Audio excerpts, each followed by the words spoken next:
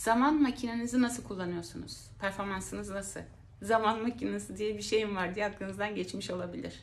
İçinde bulunduğumuz zamanı bir zaman kapsülü olarak hayal edelim. Onun içine biniyoruz ve hop geçmişe ya da geleceğe yolculuk yapıyoruz.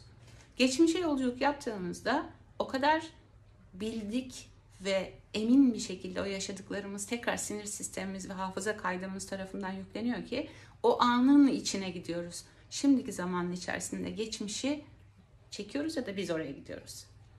Bunlar kayıplarımız olabilir, pişmanlıklarımız olabilir. Tekrardan yaşamayacağımıza inandığımız şeyler olabilir. Yani geçmişin elimizden kayıp gittiği düşüncesiyle geçmişe gidiyor olabiliriz ya da geçmişe gidip bir şeyi düzeltmek istiyor olabiliriz. Ama onların hepsi sadece bizim hafıza kaydımızda yani içinde bulunduğumuz zamanda.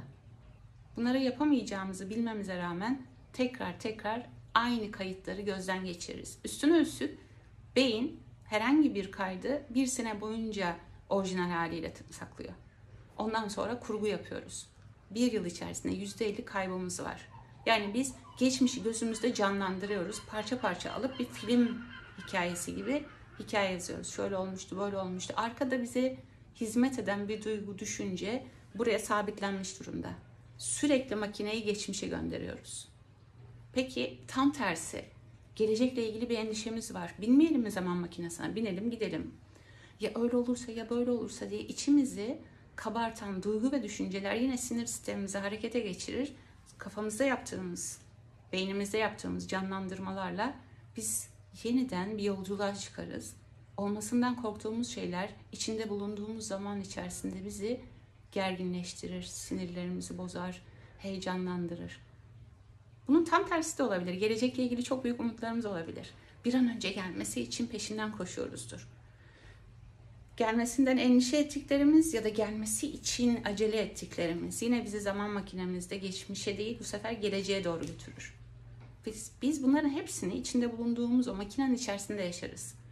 Geçmiş bizi çekiştiriyordur ya da gelecek bizi çağırıyordur. Ya da bir şeyin gelmesine endişe ediyoruzdur. Hepsi içinde bulunduğumuz zamanda olur ama burada beynimizin içinde olur.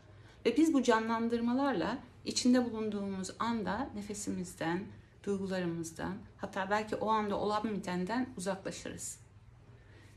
Gün içerisinde kendimize şunu belki bir düstur edinmeliyiz. Nefesimize gelip tutup tutmadığımıza bakıp ah, deyip belki derin bir bırakma. Hani çok sıkıntılı bir anın sonrasında şöyle yaparız ya. Ah, ah çok şükür. Belki buna ihtiyacımız var. Kendinizi o zaman makinesinin içerisinde yani içinde bulunduğumuz an içerisinde yakaladığınızda geçmişe ya da geleceğe doğru giderken şunu da hatırlatın. Sadece şu anda aldığımız nefes, içinde bulunduğumuz an ve orada kurulmuş olan bir sahne var. Ve biz o sahneden başka bir yerlere gittiğimiz sürece tıpkı rüyada olduğu gibi başka bir yerlerdeyiz. Ya geçmişin dehlizlerinde dolaşıyoruz ya da geleceğin olasılıklarında. Her ikisi de şu anda olup bitiyor. Ve hepimizin çok duymak istediği o iç sesimizin kapanıp beynimizin bütün o düşüncelerimizi istila ederek peşimize düştüğü yer bu çekiştirmenler. Zaman kapsülümüzü şimdi ayarlayalım.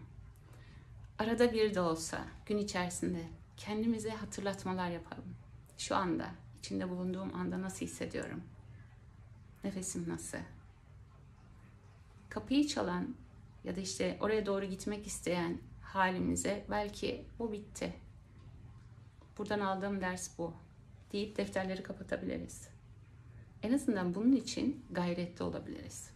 Gelecekle ilgili herhangi bir şey olduğunda da olması için heyecanlandığımız şeyde, olması için endişelendiğimiz şeyde aslında vakti geldiğinde bizim kafamızda yarattığımızın dışında bir olasılık da olabilir. Olabilir. Olabilir kelimesi mümkündür belki. Bizimle birlikte olduğunda içinde bulunduğumuz ana gelmek çok daha kolay.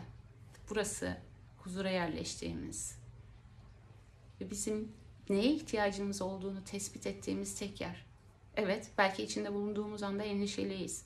Belki içinde bulunduğumuz anda kaygılıyız. Ya da çok heyecanlıyız. Ama hepsi şimdi burada, şimdiki zamanda oluyor. Ve biz neye ihtiyacımız olduğunu o anda anlarız. İnsanın ihtiyaçlarını bilmesi, farkında olması ya da ihtiraslarının farkında olması kendini bilme yolculuğunda ilk adımıdır. Hoşçakalın.